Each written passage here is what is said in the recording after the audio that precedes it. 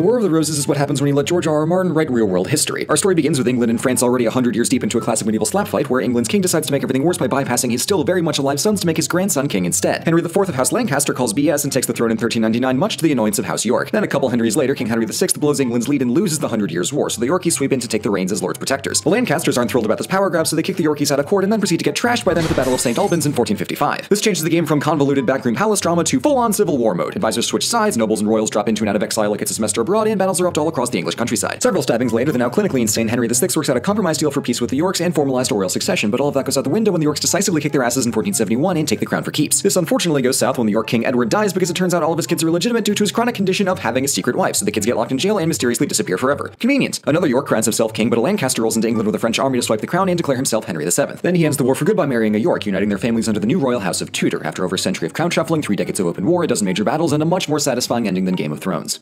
Whew.